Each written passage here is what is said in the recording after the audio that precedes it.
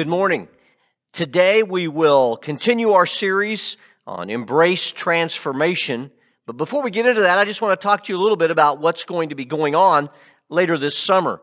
In the month of July and August, we will be looking at a new series called Embrace Our Speaking God. Now, you might have noticed through the summer we're doing the campus days where in June we're in Caldwell uh, working on the building there and in July, Hutchinson campus, and then in August at the Eureka campus.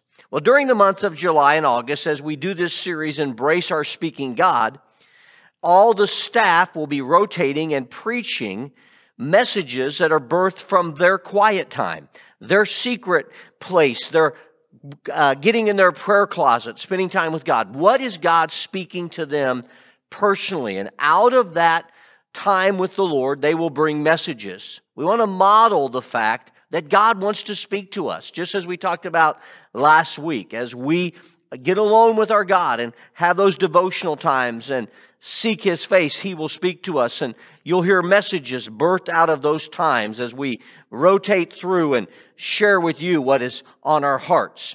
So we will look in July and August messages called Embracing Our Speaking God as He will speak to our lives. And then at the end of the summer, on September the 1st, Labor Day Sunday, we will gather together as campuses at Wheat State Retreat Center and have a combined campus service and meal together at Wheat State Retreat Center on September 1st.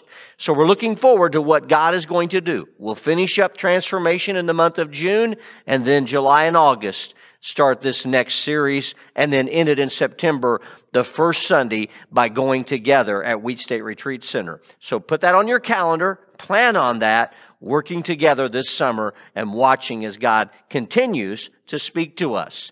Let's go to Romans 12, 1 and 2 and continue today our series on embrace transformation. Romans 12, 1 and 2 again. And so, dear brothers and sisters, I plead with you to give your bodies to God because of all he has done for you.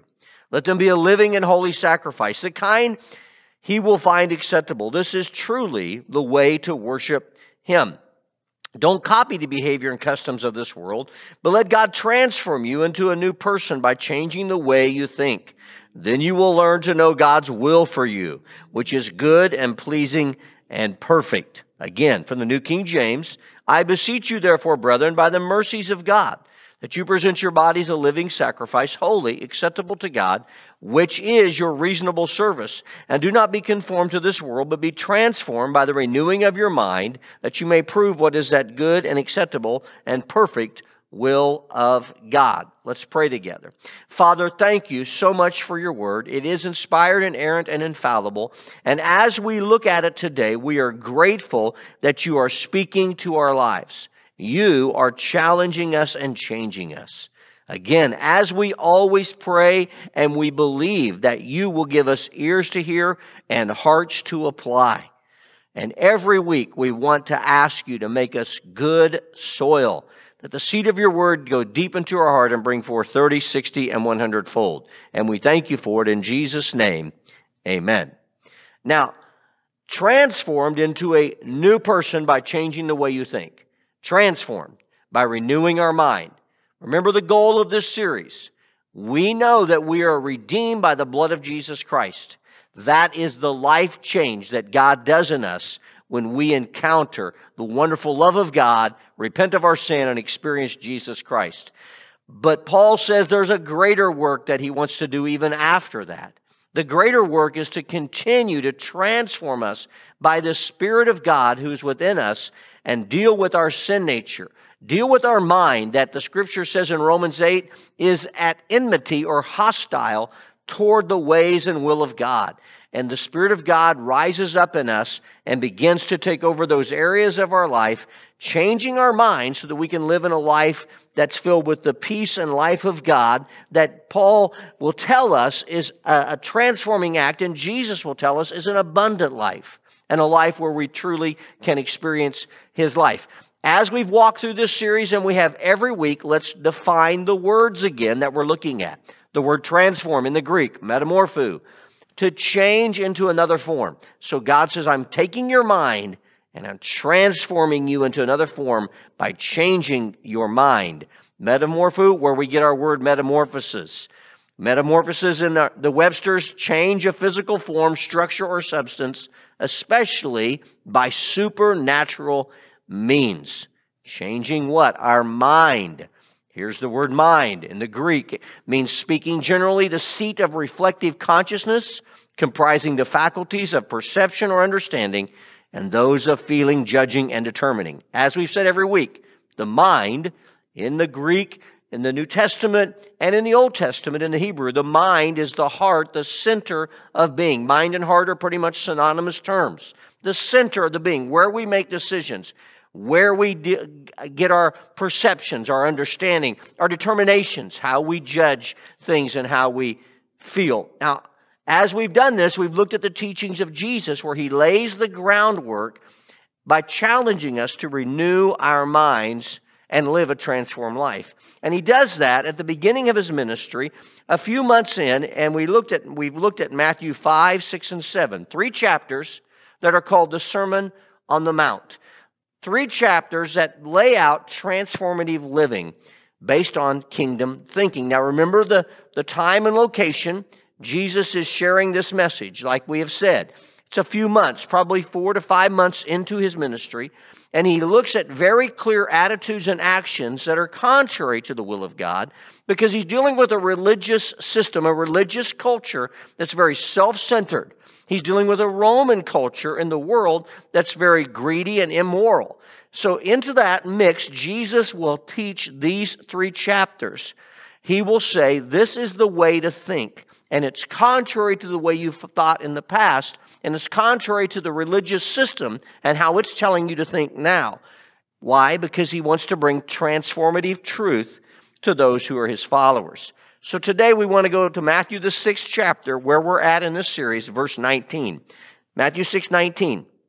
Don't store up treasures here on earth where moths eat them and rust destroys them and where thieves break in and steal. Store your treasures in heaven where moths and rust cannot destroy and thieves do not break in and steal. Wherever your treasure is, there's the desires of your heart will also be. Your eye is like a lamp that provides light for your body.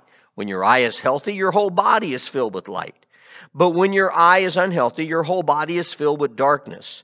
And if the light you the light you think you have is actually darkness, how deep that darkness is. No one can serve two masters, for you will hate one and love the other.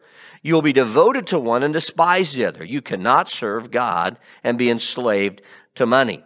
That is why I tell you not to worry about everyday life, whether you have enough food or drink or enough clothes to wear. Isn't life more than food and your body more than clothing? Look at the birds. They don't plant or harvest or store food in barns, for your heavenly Father feeds them. And aren't you far more valuable to Him than they are? Can all your worries add a single moment to your life? And why worry about your clothing? Look at the lilies of the field and how they grow. They don't worry or make uh, they don't work or make their clothing, yet Solomon in all of his glory was not dressed as beautifully as they are.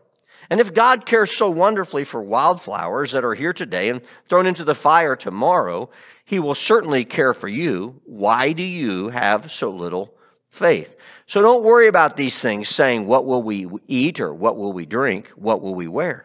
These things dominate the thoughts of unbelievers, but your heavenly Father already knows all your needs. Seek the kingdom of God above all else and live righteously, and he will give you everything you need. So don't worry about tomorrow, for tomorrow will bring its own worries. Today's trouble is enough for today. Now, there's a lot here in what we read through this portion of Scripture. As we read it, we can also see that Jesus is, again, like we said last week, changing the format. In the fifth chapter, he's referred back to the law and understanding that he didn't come to abolish it, but rather enhance it with the teachings of the Spirit of God, to bring out the wisdom.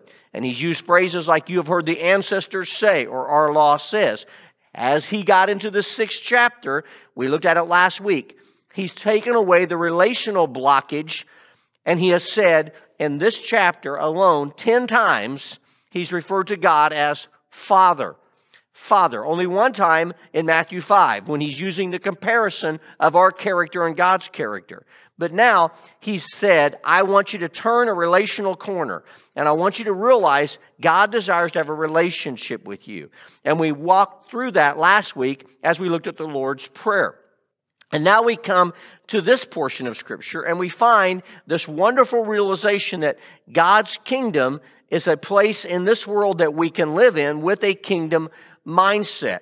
And he says, I'm going to show you how to not allow the culture around you to dictate your thinking and then dictate your behaviors. He said, I'm going to ask you to have courage to live according to the word and will and ways of God. And that's what this portion that we've read today is all about. He's asking us to take a courageous step of faith to carry out kingdom thinking. So here's the mind changing words of truth today. Two mind changing thoughts today that we want to focus on as we've looked at this scripture. Number one, an eternal focus will produce eternal treasure. An eternal focus will produce an eternal treasure. Now, again, remember, Jesus is dealing directly with a religious system that is all about an outward look and not about inward character. Outward look is more important than inward character. And that's the culture that he's working in, in the religious culture. Wealth and status are far above and far above and far more important than humility and service. I'll say that again so we get it. Wealth and status were far more important in the religious system he's dealing with than humility and service. So therefore, the greater your wealth, the more righteous you appeared the sect of the Sadducees, which were part of these religious leaders Pharisees, Sadducees, Herodians, all these different sects of people. The Sadducees had actually mixed the law of God with the aristocracy of Rome. So they were playing both sides and trying to gain political favor with Rome and trying to gain religious status at the same time. So they accumulated a lot of wealth. And as they accumulated the wealth, they equated that to their righteousness. And they flaunted their wealth. And they flaunted their status. And they tried to hide their wicked hearts behind religious garb. So they, they lived in this essence of hypocrisy that Jesus is talking about. So Jesus, first of all, deals with that line of thinking by dealing with the wealth of this earth. And he explains right off that the wealth of this earth is temporary. It's temporary. And how does he explain that? He explains it by saying it has no lasting effect. He says, you can gain all the wealth of this world, but moths can eat it all away. Rust can destroy it. In fact, he says, thieves can come in and steal it from you. And then he says, but eternal treasure is stored in heaven when we give to God, when we give of our time, our talent, our treasure, that's all stored in heaven. And he says, nothing can destroy that. No one can steal that reward. And so he makes that clear distinction that an eternal focus will produce an eternal treasure. But then Jesus goes to the very heart of the matter.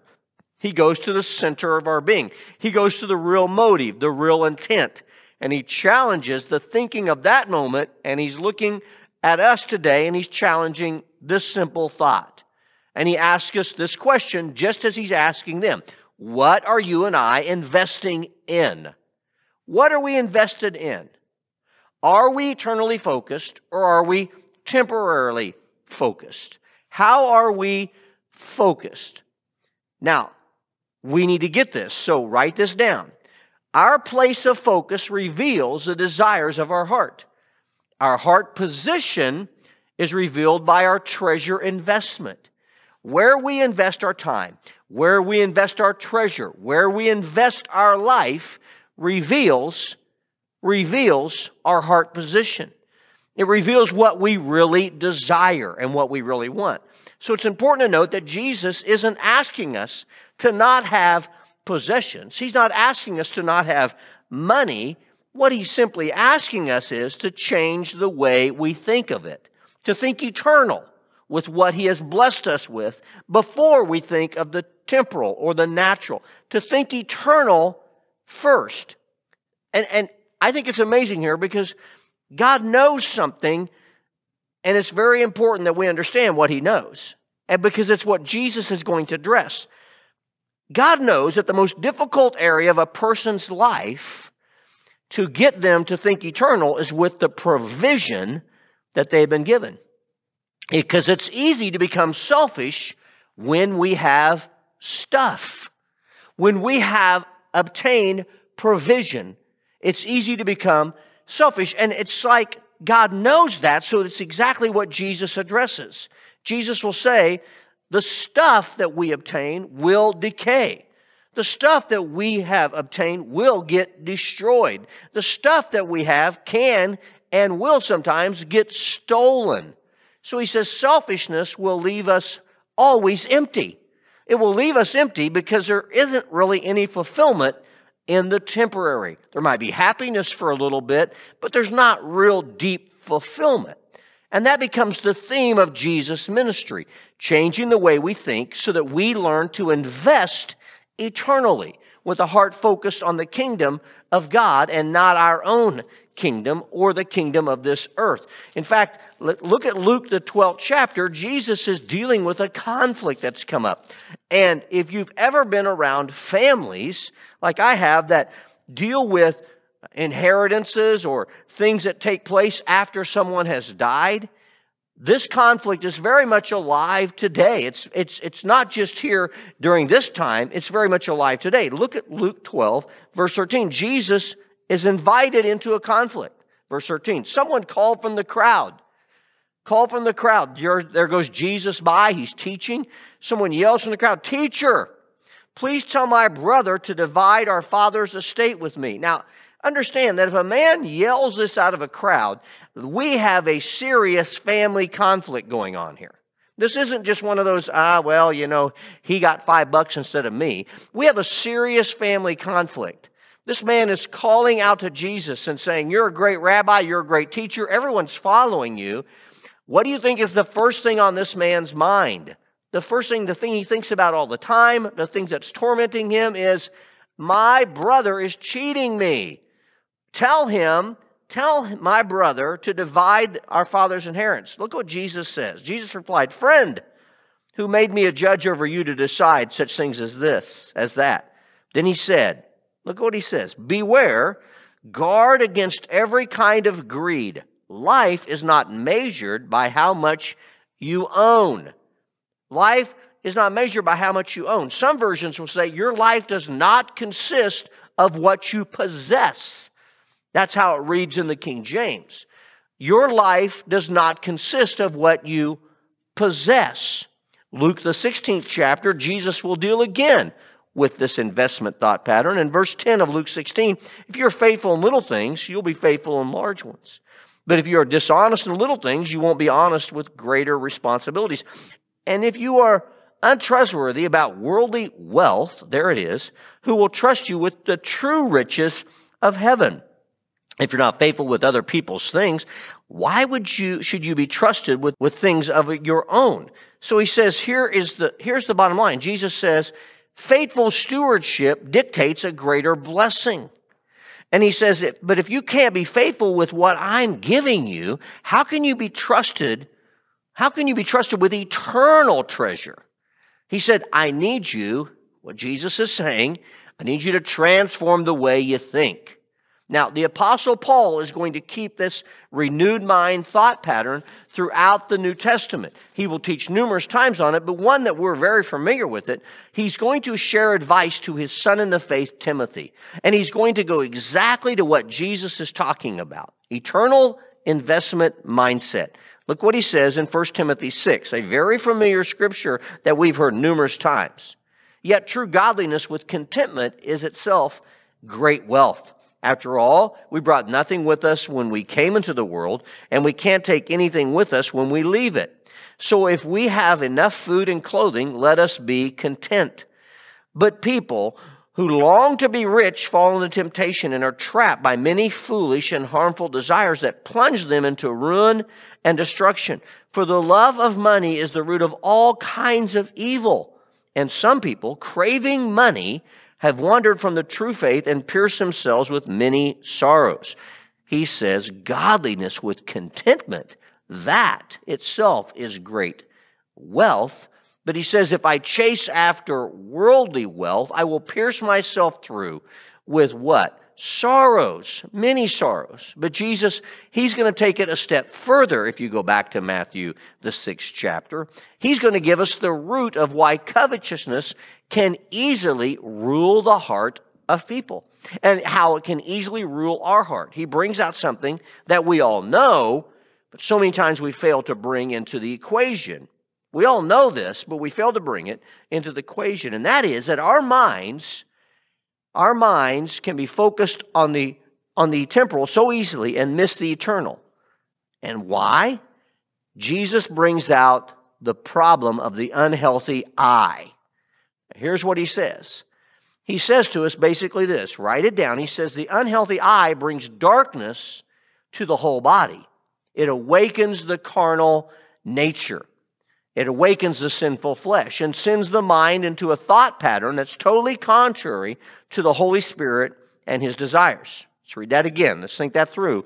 The unhealthy eye brings darkness to the whole body. It awakens the carnal nature. It awakens the sinful flesh and sends the mind into a thought pattern that's totally contrary to the Holy Spirit and His desires. So Jesus says, while I'm teaching you on this, I want you to understand something. It begins with what I see. It begins. Now, we all know that because we see all the stuff on social media, we see all the stuff on our television, we see all of the advertising that does what? Feeds into our eye. So we will see it. And so Jesus says, I want to take you all the way back to where the sin nature of man was actually awakened. How? It was awakened through deceptive words and a darkened eye. Where do we find that? Oh, we find it in Genesis, the third chapter. Genesis, the third chapter, verse 1. The serpent was the shrewdest of all the wild animals the Lord God had made. One day he asked the woman, Did God really say you must not eat the fruit from any of the trees in the garden? Of course we may eat fruit from the trees in the garden, the woman replied. It's only the fruit from the tree in the middle of the garden that we are not allowed to eat. God said you must not eat it or even touch it. If you do, you will die. Well, she's already changed it a little bit. He didn't say you couldn't touch it, he just said you couldn't eat. So already things have begun to be manipulated a little bit. You won't die, the serpent replied to the woman. God knows that what? Your eyes will be opened as soon as you eat it, and you will be like God, knowing both good and evil. The woman was convinced, watch this, she saw, there it is, that the tree was beautiful and its fruit looked looked delicious, and she wanted the wisdom it would give her, so she took some of the fruit and ate it, and she gave some to her husband, who was with her, and he ate it too. And what happens? At that moment, their eyes were opened, and they suddenly felt shame at their nakedness, so they sewed fig leaves together to cover themselves. Their eyes, they saw it. It looked delicious. Their eyes were open. Suddenly, they felt shame. See, the eyes focused on the natural pleasure of this world brought about something amazing, brought about instant shame. Isn't that amazing? What appeared to be the treasure of their life and what can appear to be the treasure of my life, if I throw away the eternal treasure, I become bound up by the natural treasure. I want to become the person who says, I'm not bound, I'm not bound in the natural pleasures of life, but I have focused my eternal eyes upon Him. And I'm amazed that what appears to be the treasure I want becomes the eternal problem that I don't want. See, that's exactly what covetousness does. Write this down. Covetousness robs us of the eternal treasure we are experiencing and convinces our minds of a temporary treasure that will lead us away and cause us shame. Covetousness robs us. They were in a garden, they had everything they needed. They were robbed of that eternal treasure they were experiencing. Why? Because covetousness robbed them and convinced their mind through the power of the enemy's enticement convince their mind that a temporary treasure was better, but it's going to lead them away and cause shame. And Jesus brings it all together here. All together. And he says, The treasure of my life is based upon eternal investment, not the investment of my sinful nature. That's only going to lead to death and cause destruction in my life. So he brings it to a head when he says, No one can serve two masters. You'll hate the one and love the other. You can't serve God and be enslaved to money. So he says, Change the way you think. Keep your eyes focused and your heart pure. Kingdom thinking means correct heart position. Kingdom thinking says, I'm going to have an eternal focus where my treasure is laid up, where it can never be destroyed. And God, thank you for the provision that I have in this life. Thank you for blessing me. Now let me make eternal investment with what you have blessed me with, because everything of this world is going to rust, fall apart, or get stolen. In my life, in you, I have treasure that can never be stolen, never rust, and never fade away. Number two, understanding our value eliminates fear and worry. Now, the whole Sermon on the Mount, as we've read through it so far, as the whole Sermon on the Mount will tell us, God wants us to understand at the core is value for others. We've talked about this already. That's why he will say to us, Love those who hurt you. Pray for those who despitefully use you and wrongfully take advantage of you. Pray for those who seek to have vengeance on you. And he will say to us, don't walk in vengeance. Don't walk in bitterness. Now Jesus, now Jesus does something amazing.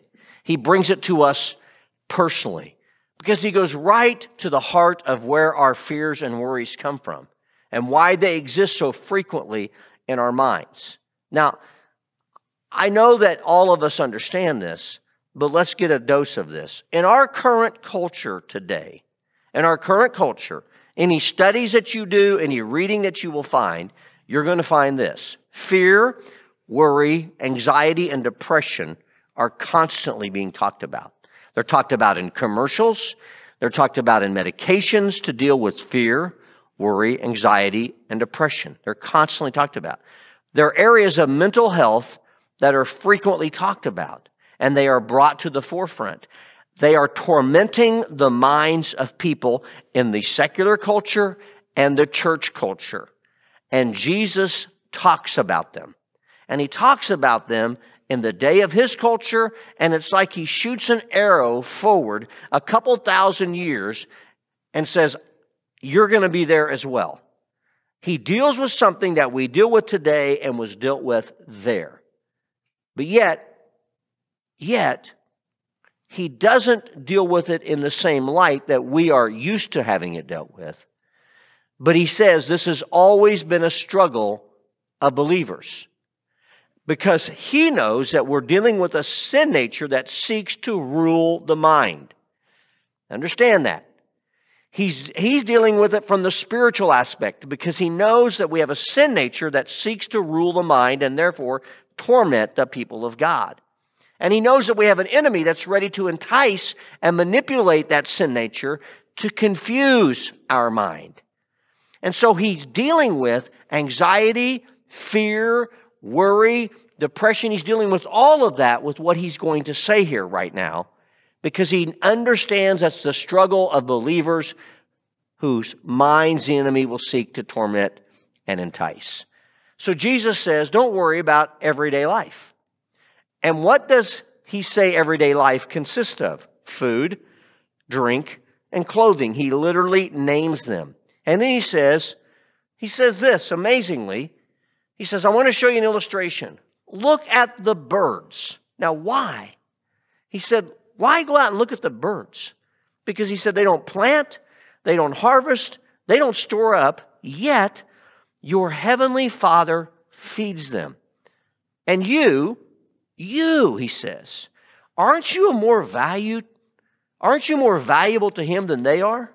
What's he say in Matthew, the 10th chapter? Just a few chapters later, Jesus will say these words in Matthew 10 29. What is the price of two sparrows, one copper coin? But not a single sparrow can fall to the ground without your Father knowing it and the very hairs on your head are all numbered. So don't be afraid. There it is. Don't walk in fear. You're more valuable to God than a whole flock of sparrows.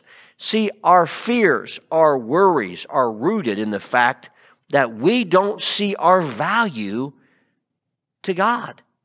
We don't understand our value to God. We can rehash. Now, I, want, I, will, I really want us to get this this, this morning. Listen closely to this. We can rehash every failure, we can relive every ounce of shame.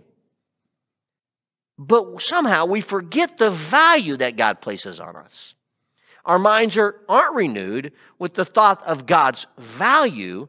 They are trapped instead in the prison of poor performance and past failures. Let me repeat that. We can rehash every failure, we can relive every bit of shame, but we forget the value that God places on us. Our minds aren't renewed with the thoughts of God's value. They are trapped in the prison of poor performance and past failures. Somehow we forget these precious words Psalm 139, 13 through 18. Psalm 139, 13 through 18. You made all the delicate inner parts of my body and knit me together in my mother's womb. Thank you for making me so wonderfully complex. Your workmanship is marvelous. How well I know it.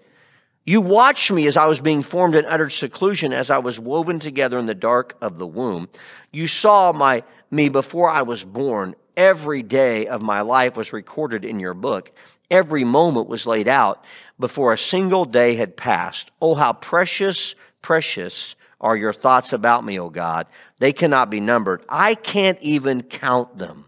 They outnumber the grains of sand. And when I wake up, you are still with me. Please note verse 17 and 18.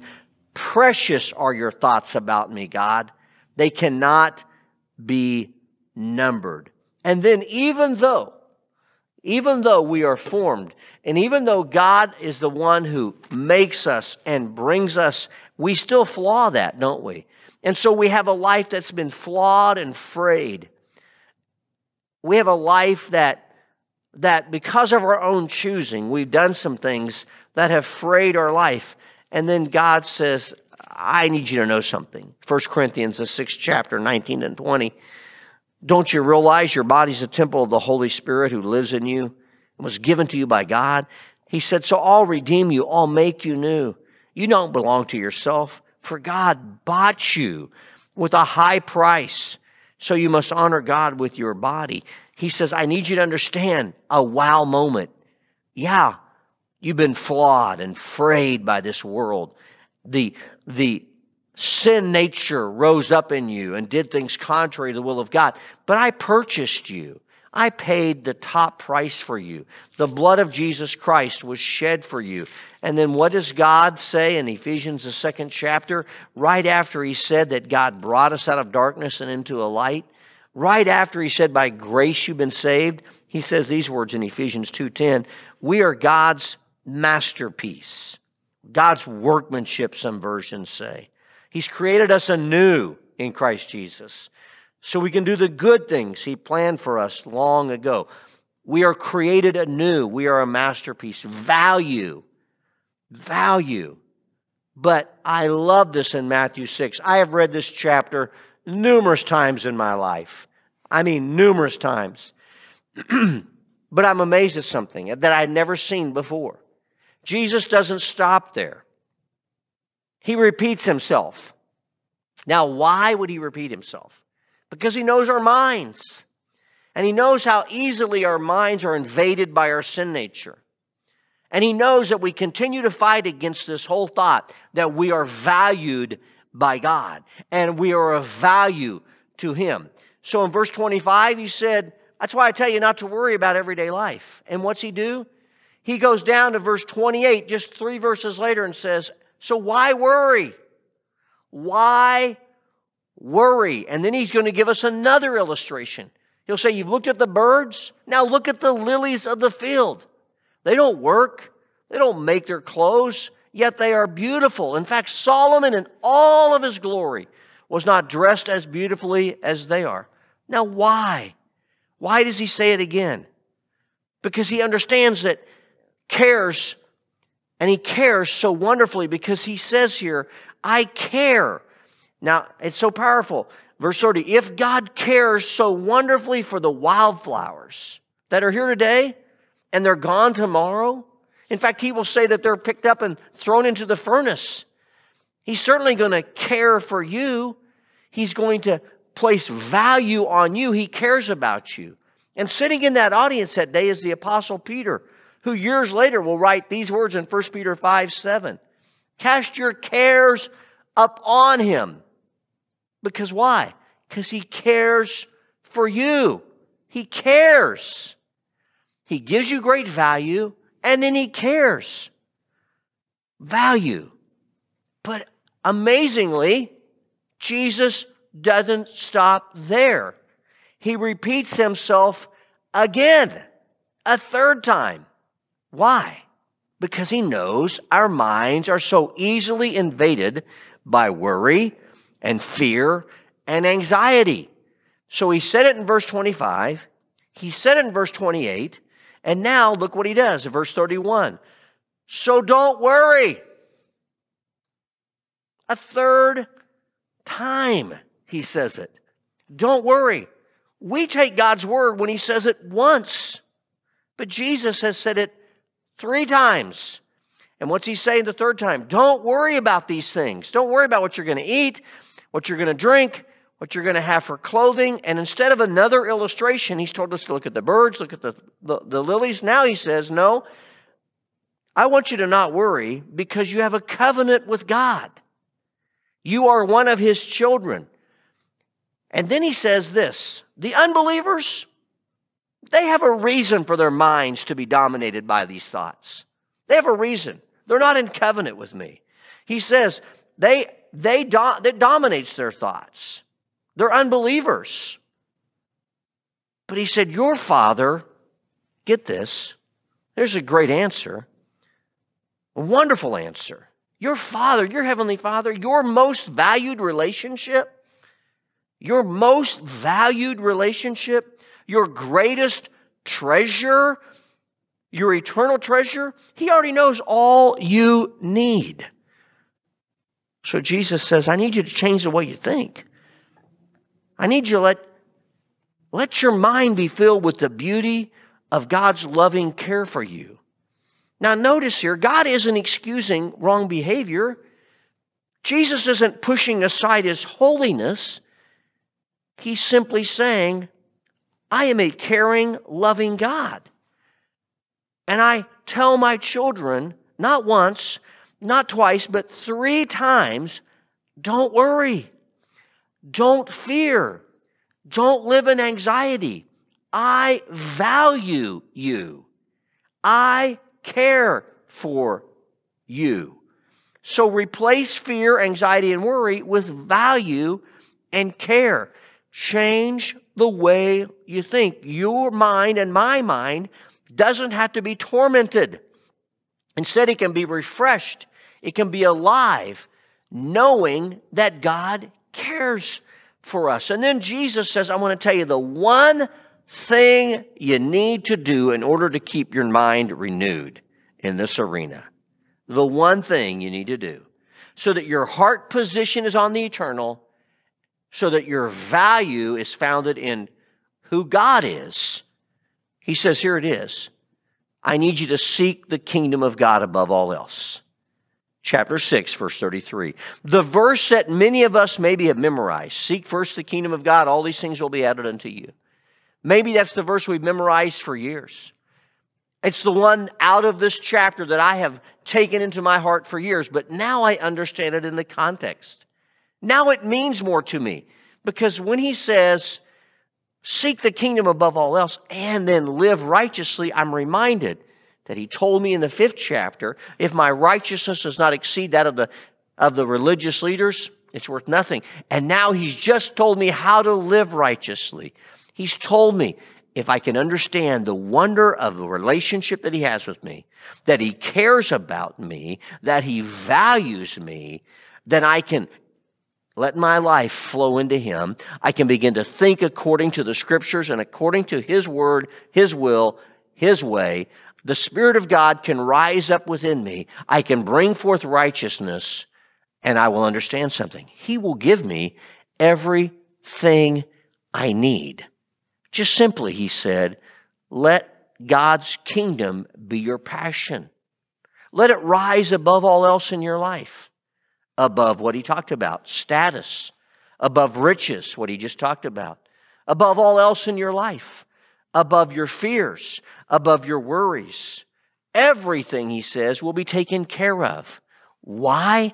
Because God values you. And isn't it amazing that Jesus will start this whole thought that we read today about telling us that where our heart is, that's where our treasure is.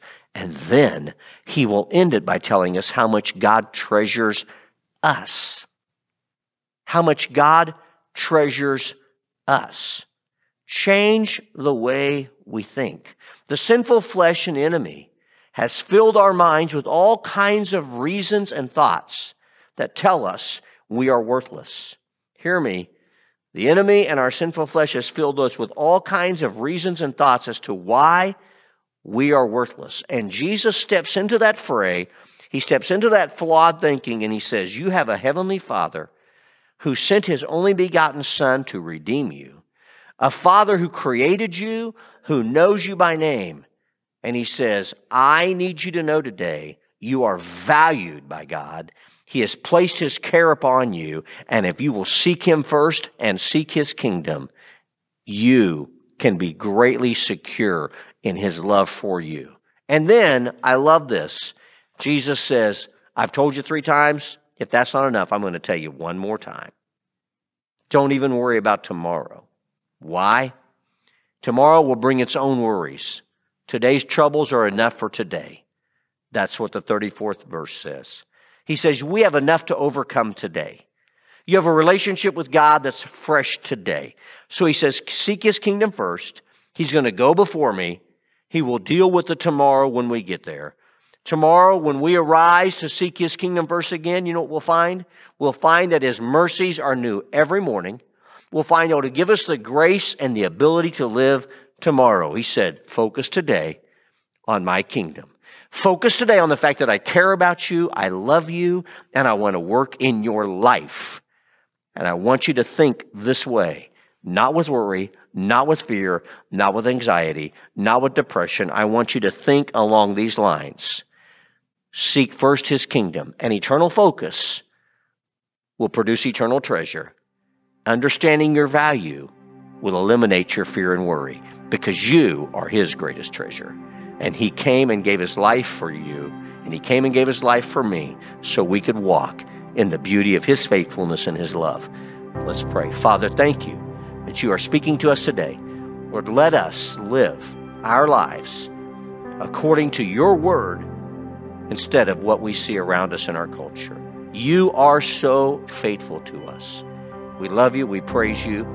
Now, God, help us as we lay down the fear and anxieties, the thoughts of what are we going to do with this and that. Help us not to serve two masters. Let us focus on you as our master you as our provider, so that fear and worry do not fill our lives. We thank you, Lord, that you're freeing people today from anxiety. You're setting them free from these tormenting thoughts and giving them a newness in you. And we thank you for it in Jesus' name. Amen.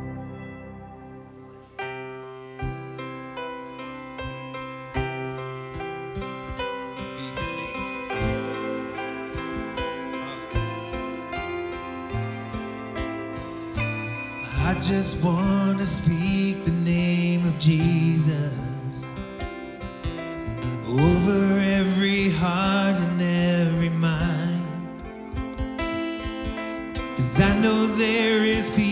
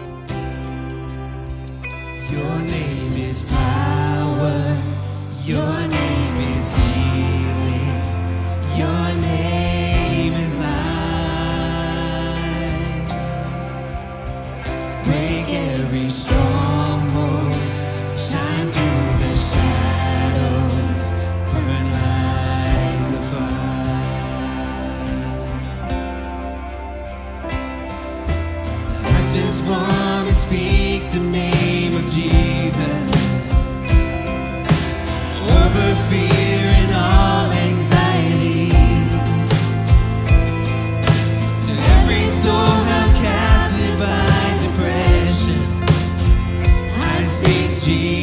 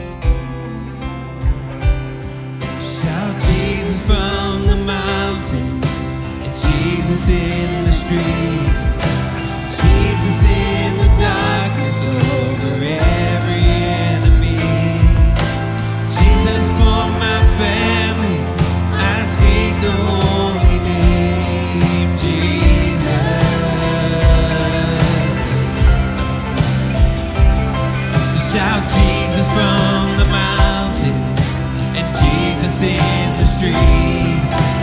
Jesus in the darkness over